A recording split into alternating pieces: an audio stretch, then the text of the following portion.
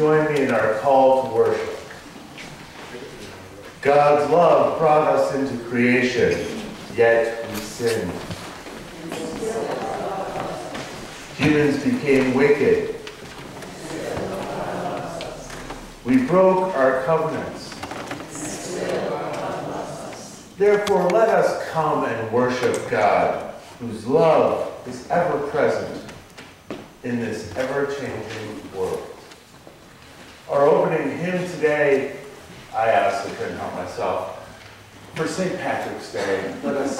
sing, Come Thou Fount of every blessing. It's number 68.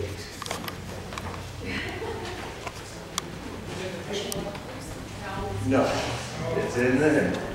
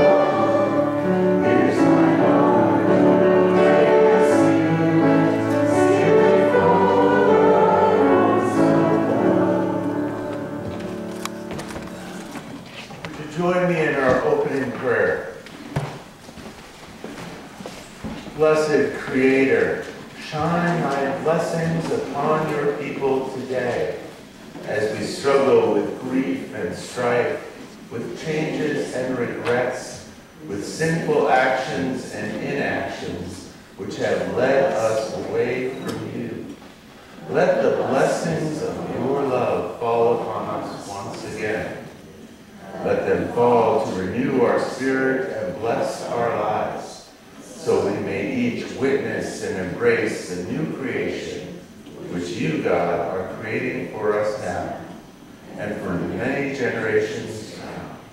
In you, God, Christ, Holy Spirit,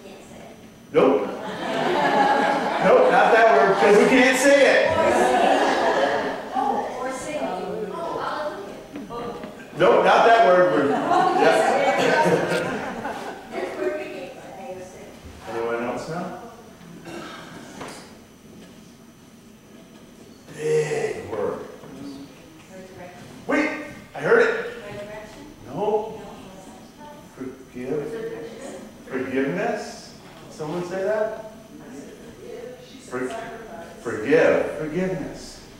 Huge word. Does anyone know what it means? Don't hold a grudge. That's a good way to put that. And, and does anyone know why we're called to forgive? So we can be forgiven. So we can be forgiven. Be more Christ-like. These are all really true, but there's a really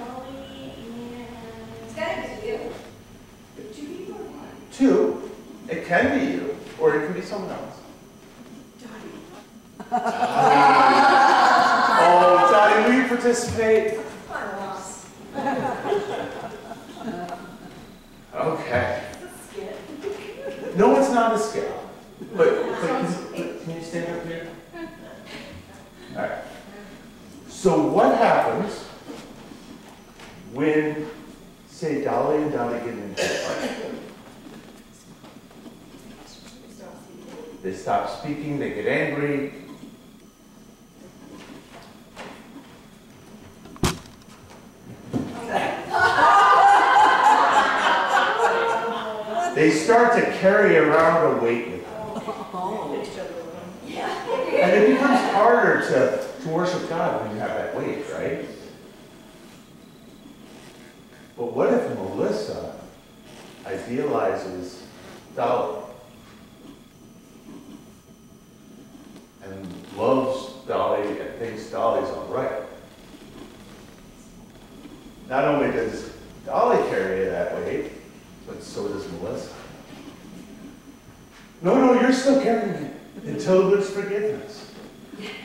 Until there's forgiveness, but now idealization happens, and we start to carry that for other people too.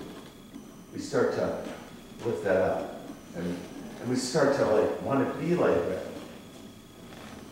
Well, does anyone know what God teaches us? Christ teaches us it's okay. We can set our weights down. Forgive ourselves and forgive each other so we can worship God in glory. That's the message of the day, the message of life. Thank you. all. Steve, uh, I put you on the spot. You. If, if the two of you would like to join Miss Jen downstairs. It seems like the perfect day for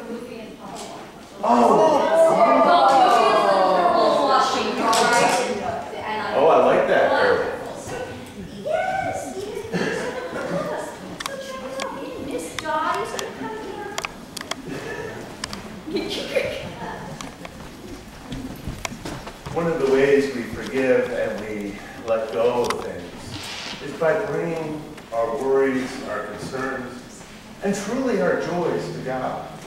So let this now be the heart of our service where we lift up all the struggles and worries on our hearts. Let them go so we can come to the glory of God together. Let us pray. Holy Creator, in this season of Lent, show us, guide us, teach us the way to be more like you. For we struggle with this world, O God, and care so much for so many other people. We lift up their worries and carry them around. Let us let them go. Give them to you and come into your glory, which is being born anew today. Beloved of God, what are the concerns or joys on your hearts this day? I'd like to thank Lori Keller for providing the altar flowers this morning. They were given in memory of her parents on their anniversary. Gracious God, in our prayer. It is such a joy to see Mary sitting in church with us this morning. Oh, gracious God, hear our joy! Sorry, Mary, I can embarrass people sometimes. But it is all in love. And Larry would like prayers for his wife. Gracious God, please hear our prayers and keep Larry and his wife carefully in your care this day.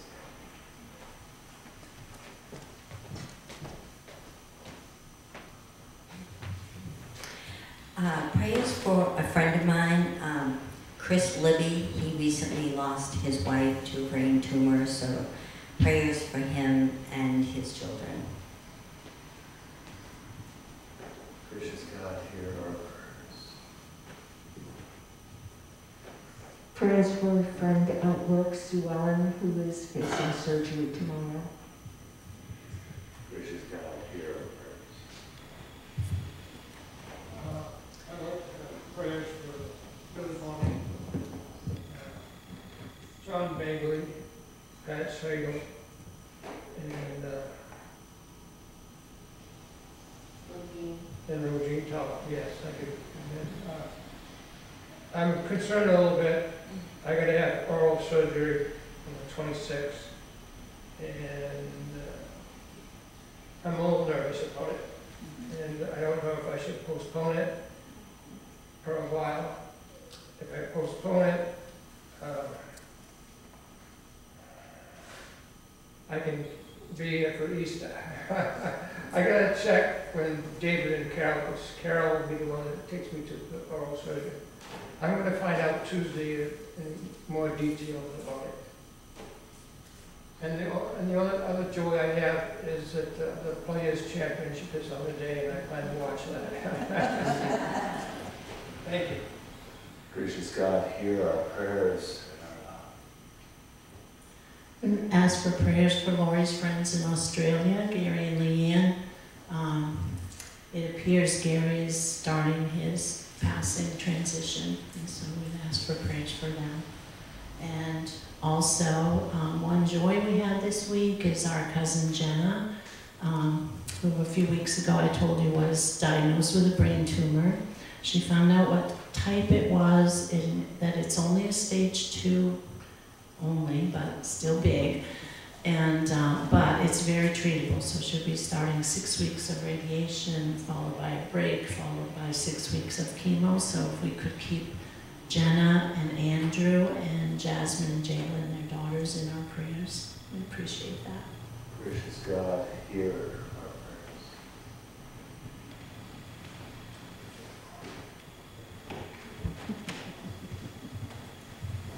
Thank you. It's nice to be back home.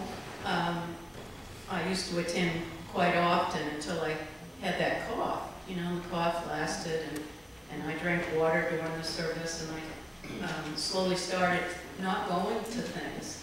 And um, still teaching Nordic walking, wa- walking four miles a day. I thought I was healthy.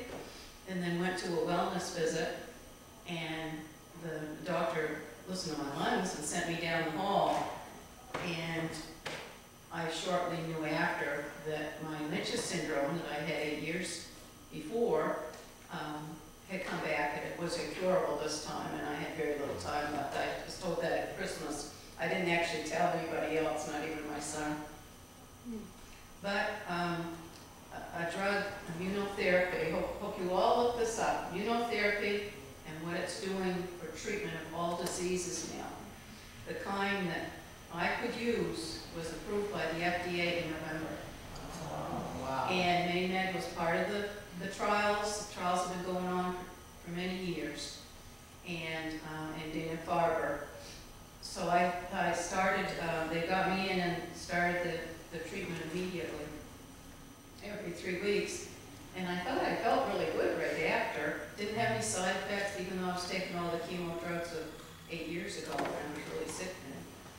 And um, then last week, I knew for my treatment, the doctor uh, came in to see me, and she was, wasn't even sitting down, she was just jumping. And she said, we have never um, seen the drop in cancer cells. I had blood work the day before, like you have. There's, there's something different with your blood. I know what it is. And, uh, um, So, um, the next day, Maine Health Cancer Prevention called and set up a video time. Two hours, we, we talked about it. And um, I had been re- researching Lynch's syndrome all over the world. I've been in touch, I'm part of the um, Irish Cancer Society and now um, Australia. And um, I've traced, a long story, I won't tell you the whole thing, but my people back to the shore of Ireland where the, the gene came from, and they are tracing it back to the village so that all the descendants from the 1700s can find out um, about this incurable disease. But now it looks like there might be a cure for it from immigrants that went all over the world. But um, uh, if you're into it, I, uh, don't, don't look, I guess, like I'm at death's door. And, uh, um, but uh, one more thing, I met the man next, that lives next door on my walk yesterday. And he, he recognized me, and we talked up on Hancock Street for a long time about his son, who was still in cancer treatment and still very seriously ill. And I was telling him about immunotherapy, and he had just heard about it. So I'm connecting him with um, the head, head doctor at Maine Cancer Research. Um, so he can, he can be in on what's new there. And I ask that you continue to, uh, they're such a brave family. Um, and, um, but it was, it was, um, more than, it wasn't a coincidence I should run into him. So anyone else that you have in your family that has a serious disease, this new immunotherapy, look it up. It's, it's going to be a lifesaver for the world. Oh, Gracious God, hear our prayers and thanksgivings. Would you please keep Ashley, Donna, Harry, and all our extended family in your prayers for the recent passing of Dan Vines? Gracious God, hear our Sorry, Laurie also wanted me to mention continued prayers for Alex Jackson, um, the young man that's been missing for almost a year now. His family could use some extra prayers as we approach the anniversary of that. And also, I would ask for prayers for our Ben. Um, they've decided now to do another MRI. Uh, his surgery had seemed to be a success, but he's still not like where they thought he would be at this point, and he's due to go back to work. So they want to find out what's going on. Gracious God, hear our prayers. Just the people of Gaza. Just the people of Gaza? Absolutely, and just the people of Gaza, God, hear our prayers. No, I love that. I love that because that's exactly what we do sometimes. That every person, you're right, every person in Gaza is absolutely important. Gracious God, hear our prayers and thank you. Speaking of which, every person is important. And today during prayers, we have a special prayer, um, which I'll, uh, Carol to explain. Um, I would like to frame this as an open and affirming moment. Most of you know that I work at a residential facility for women with substance abuse and eating disorders. I lead groups there, and one of the groups that I lead is spirituality. And uh, a few weeks ago, I gave them an assignment to write a letter to their younger self. And I've given this assignment many times before, and mostly what I hear is, don't do this, do this, don't hang out with, hang out with, find something for yourself, back and forth. This young woman wrote something very different that really touched me. Her letter to herself was titled Wishes for Her. I wish that you hadn't had to go through so much pain trying to find self-love. I wish that you had known from the start what love was not. I wish that all the stability and happiness that you grew up around wasn't taken from you so prematurely, and that you hadn't crashed and burned faster than a candle being blown out. I wish that you had known the difference between being tolerated and being wanted. The difference between being strong and suffering in silence. I wish you had known how to ask for help without feeling like a burden. I wish you had sought protection from the one that would have fought beside you, instead of shutting them out in fear and seeking protection from the ones that were actually helping you dig your own grave. If I could turn back time and put my arms around you, I would do so and tell you to go home and I would even stagger you there myself and make sure you made it safely. I would have sheltered you from all things evil, the people, the places, the drugs, and the booze. I would have sheltered you from the self-hate and shame that constantly poured over you. I would have been your umbrella through the storms. I wish I could go back and tell you to stand up for yourself from the very beginning and tell you that you don't deserve to fear closing your eyes in the dark. I would hold you up so high that all the people that made you feel small would for once have to look up to you.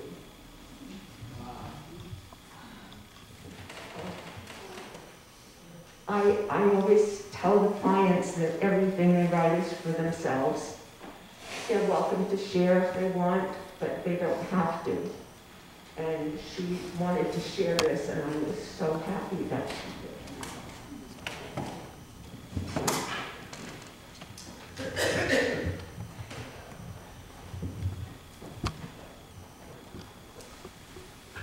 God, hero.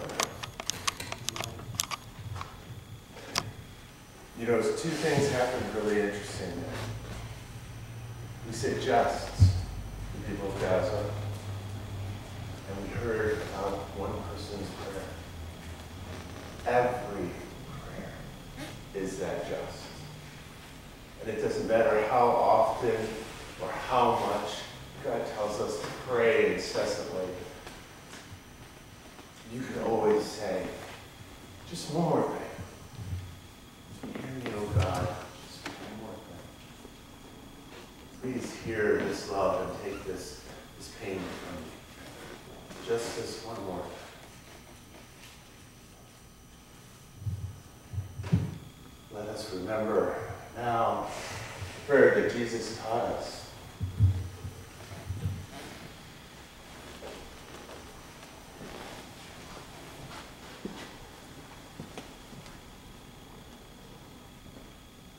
God of the lost, the least, and all who long for home. During this time of Lent and always when we wander from your ways or waste the gifts you have given us, please open our ears and hearts to your call back to a time of reflection and renewed purpose through the teachings of your Son, Jesus Christ, who shared with us, who taught us, who said, just pray.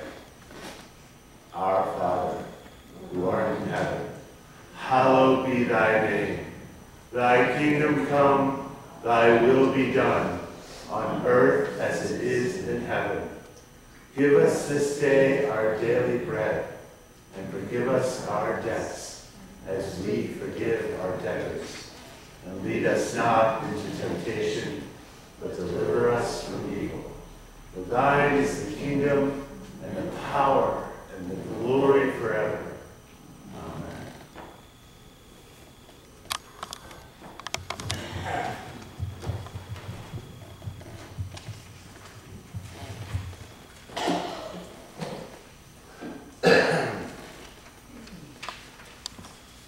Our first scripture reading today is from the book of Jeremiah, the Old Testament chapter 31, verses 31 through 34.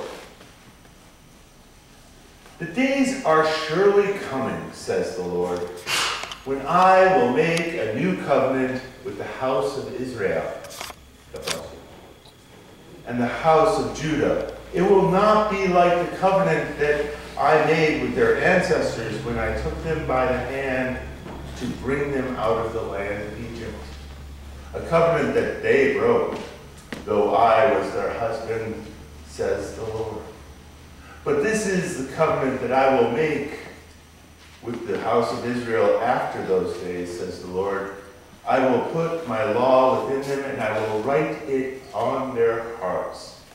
And I will be their God, and they shall be my people. No longer shall they teach one another or say to each other, Know the Lord for they shall all know me, and from the least of them to the greatest, says the Lord.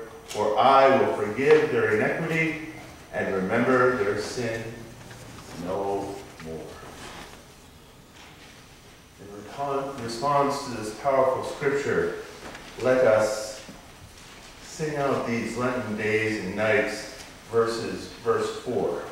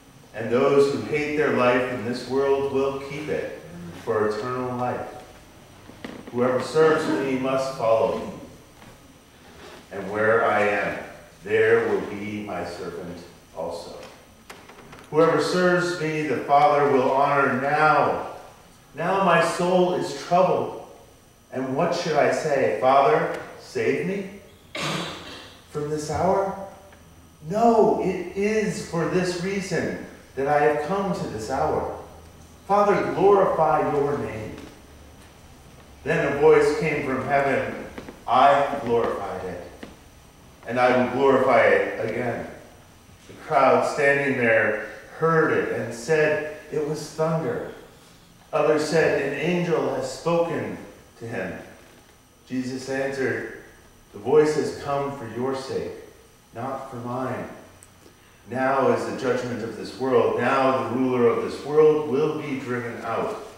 And I, when I am lifted up from the earth, will draw all people to myself.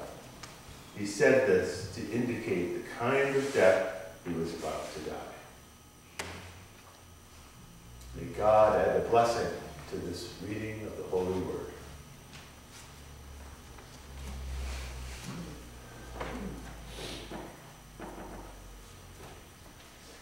Throughout the message today, I'm going to use two words that I want to just help everybody understand a little bit.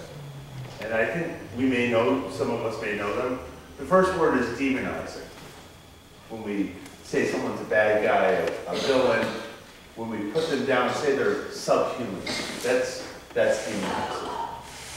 The other word is a little bit more troublesome because it sounds like idolizing but it's idealization. And it means lifting them up, putting them on a pedestal, wanting to be like them.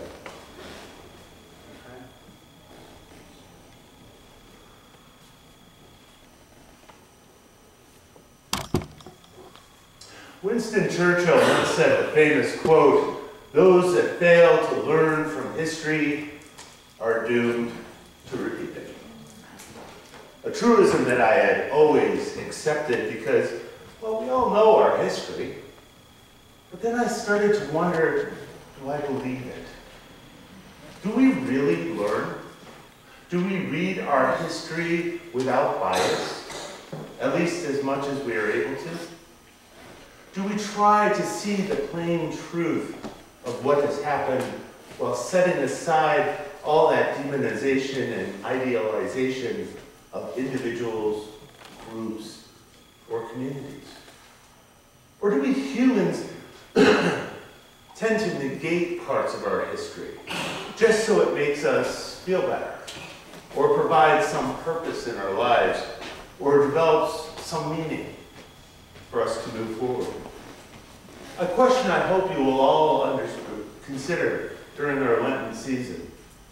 Because when we do not learn from our history, by seeing our history plainly, we will repeat the conflicts of the past. It's like, you know, it's almost like being stuck in a parody of that old movie called Groundhog Day. Yeah, everybody know it? Yeah. Let's call this parody Good Friday.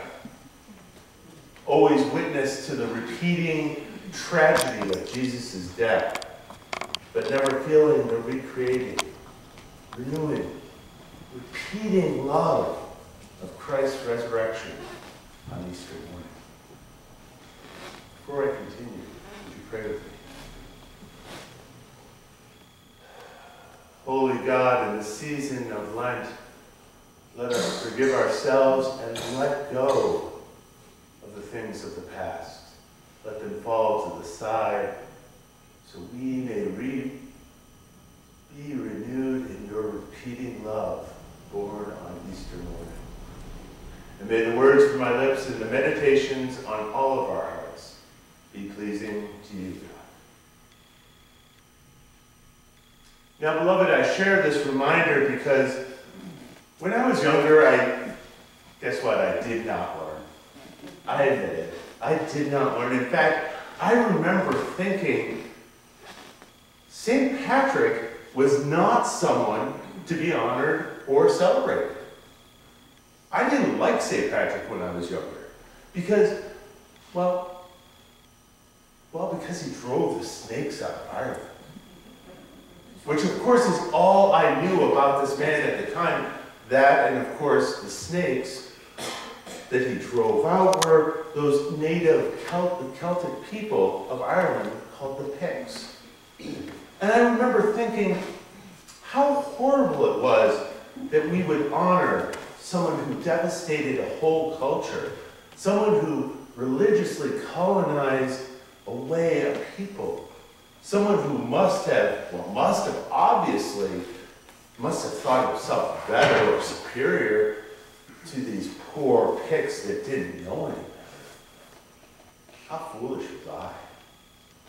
How ignorant, how silly was I to think and not refuse and refuse to learn. Instead, I chose to demonize St. Patrick and idealize the Picts and hold on to that one sliver of history as if it were the whole truth. But we do that in this world, don't we?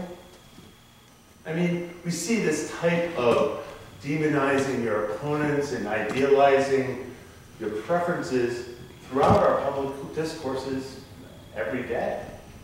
We see it in everything from the political arenas, sure we can all think of at least one, to the simple advertising of Coke over Pepsi. Which in general is not really a problem. It's definitely irritating at times, but not really a problem. However, it can be. It can be, especially when we start to negate our history in this world. And I saw this negation of history happening recently in an anti-racism social and education movement. Now to explain, anti-racism is actually an amazing thing.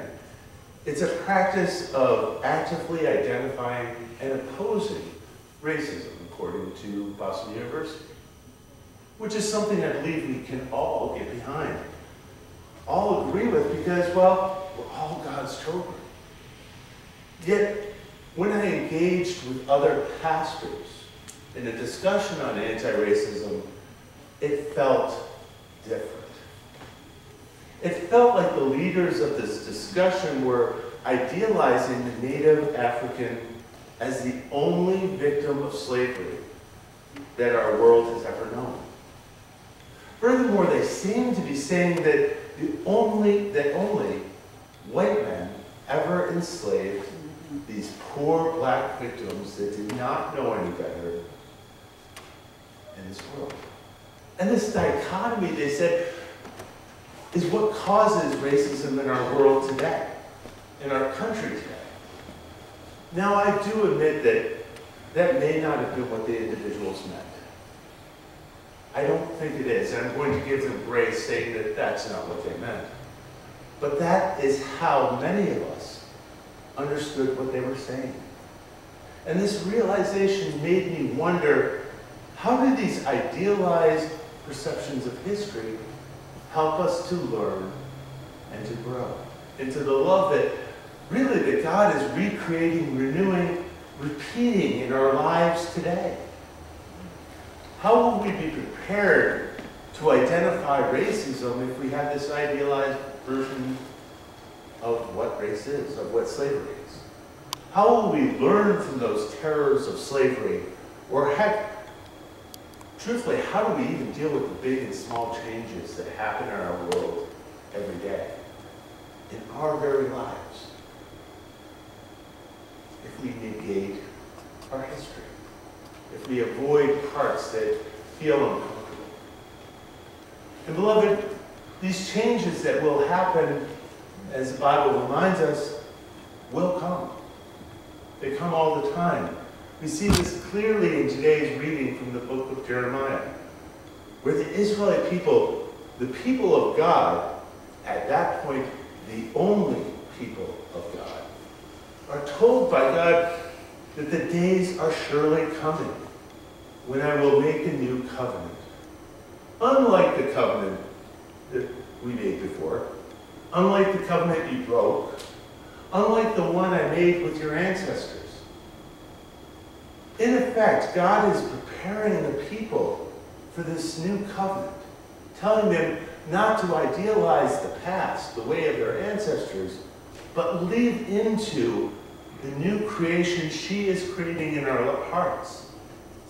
He is teaching the Israelites about their renewing love.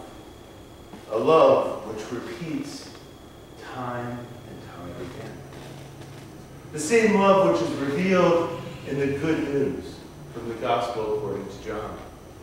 Is a truth revealed in the metaphor of the wheat grain. Metaphor I hope all of our modern ears can, can kind of understand.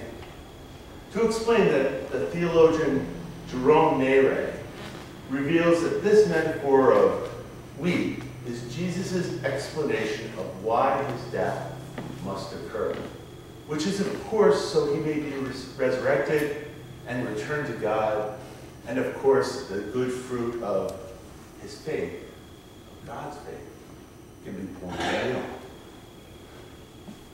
And that is really the more to it.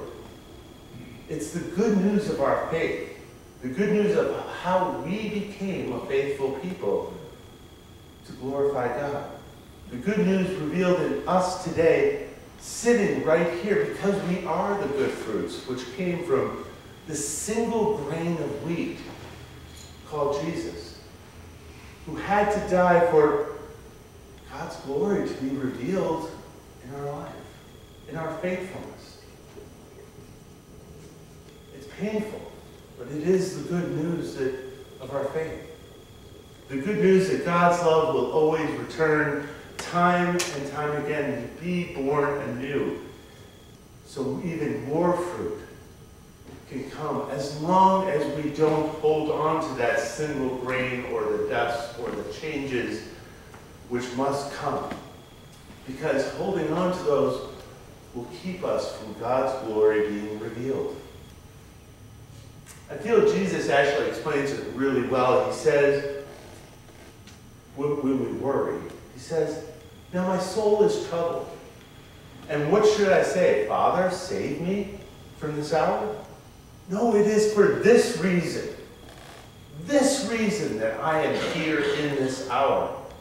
In other words, these troubles and issues, and truly even the changes and deaths that come into our lives and endure, are not something to be feared. We do not need to idealize that small part of the history or idealize what once was. Rather, we need to see clearly and live into the new creation, the new world, the new love being, well, being repeated today. For that is how we glorify God as we learn from the past. That's how we start to see that St. Patrick himself, as a Caucasian and an Englishman, was also enslaved twice throughout his life.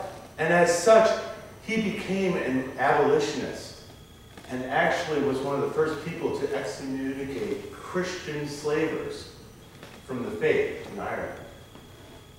That is how we start to see that black Africans, enslaved black Africans, before selling them to white people, white slave traders.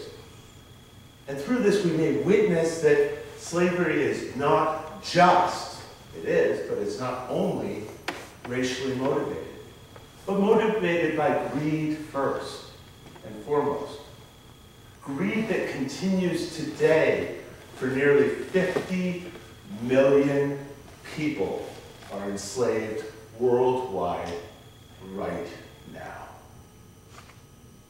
50 million. That's about one in every 150 people in the world, according to the Global Slavery Index. Which, by the way, is approximately five times, five times the amount of Africans that were enslaved over the whole 200 years of legalized slavery in the United States. That is how we start to see that racism and divisions have occurred and been propagated by every race. And to forget or idealize one group in our history, we also forget the very ways we need to continue to learn and grow into God's love, which is being repeated, renewed, recreated for us in each age. For us in community today, I hope you know that this, this is not just a, talking about the tragedies of slavery or the idealization of a world long gone. We are talking about our everyday challenges and changes that will come.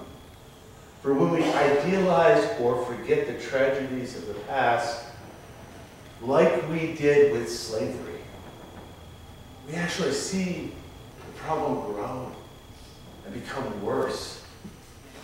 We are doomed to truly repeat it as we were and are slavery. Because we choose not to learn that the problem itself is caused by more than just racism, but it's also caused by human greed and power over another. Yet God teaches us through Christ that we can choose, choose to witness the plain history. And by doing so, we change, so the changes we face, the terrible stories from our past, or even slavery itself can be, it can be like that simple grain of wheat that we let die. You can see it in all its forms and fashions. Let it die and find those good fruits resurrected in our love, the good fruits of tomorrow. Truly, our church struggles and our personal struggles can and often do follow the same pattern. We can idealize a person the way they once were or the way we used to be as a church and hold desperately desperately onto recreating that same thing, or finding that same soul, or remembering who they once were. Yet when we spend all of our energy idealizing the past, we fail to see the fullness of what once was. And therefore, we can't let it go. We can't let it die. And we can't witness the glory of God being cre- recreated today repeated right now. Rather, it stays there as part of our life, leaving no room for the new covenant being created, the new faith being born anew, to bring good fruit to our children. The love that God is truly ready, desperately ready to give to everyone in every age. That, beloved, is the good news of God that with all things, bad and good, we must let them go. Learn from them. Oh, yes, learn from them, but let them go. So we may live and love the present, which is today, and experience the glorious love that God repeats once the past has passed away. Glorious God, thank you and may your glory be revealed in each of us as we remember the past plainly. Don't let it go throughout this season of Lent and throughout our lives. Grant this healing boon, O God, so we may all witness your repeating love, which is born anew in Christ on Easter morning. Amen.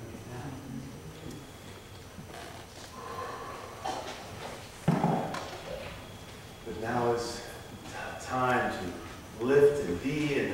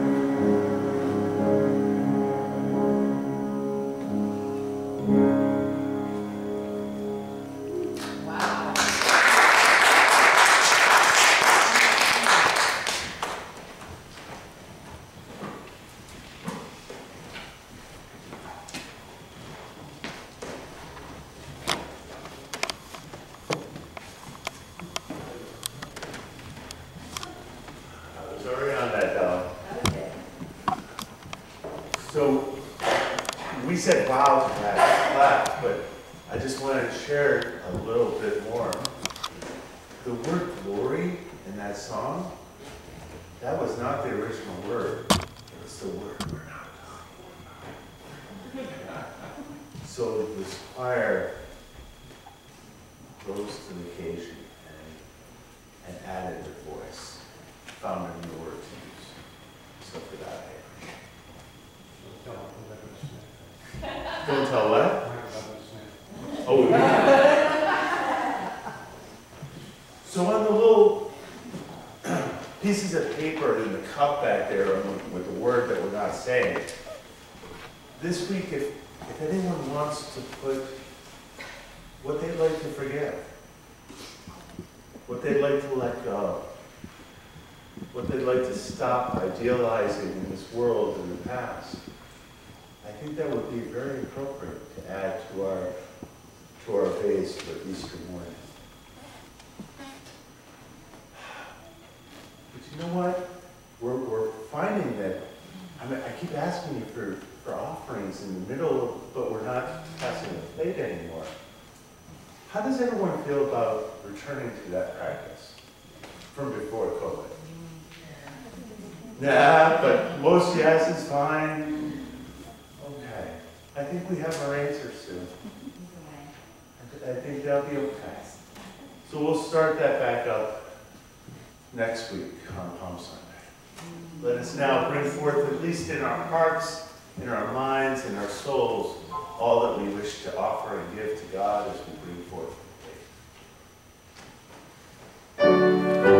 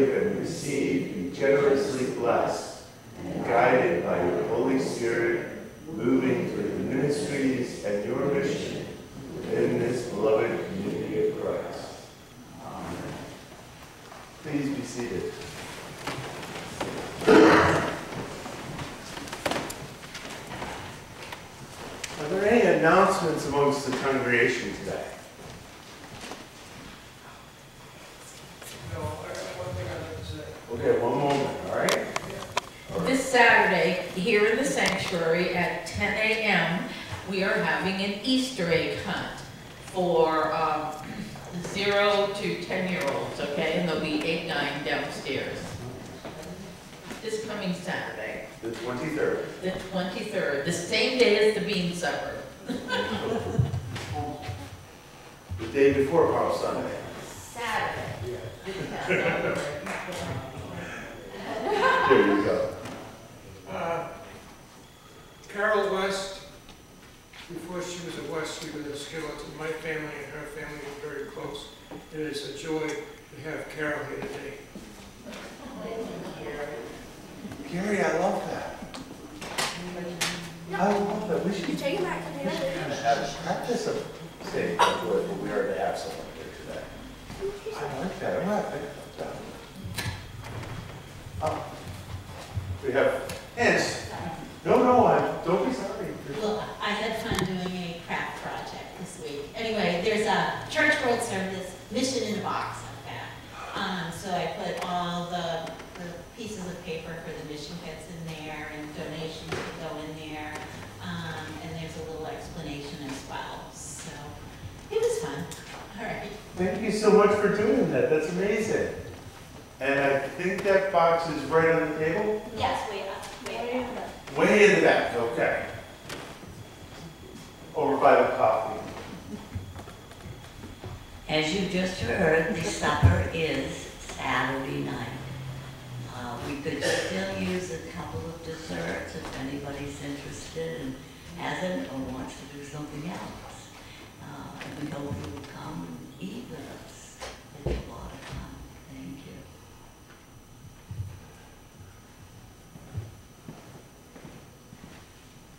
So the last announcement I have, well, last two announcements, is coming in, you may have seen the Holy Week, Easter worship.